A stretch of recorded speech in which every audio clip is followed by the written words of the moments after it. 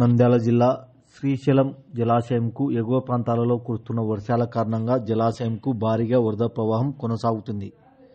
Srisailam జలాశయంకు inflow Jurala జలాశయం నుంచి రెండు లక్షల తొంభై మూడు వేల తొమ్మిది వందల ముప్పై తొమ్మిది క్యూసెక్కులు సుంకేశ్ల జలాశయం నుండి లక్ష నలభై వేల నాలుగు వందల డెబ్బై ఎనిమిది క్యూసెక్కులు మొత్తం ఇన్ఫ్లో నాలుగు లక్షల తొమ్మిది వేల ఐదు వందల తొంభై ఒకటి క్యూసెక్కుల నీరు వచ్చి చేరుతుంది.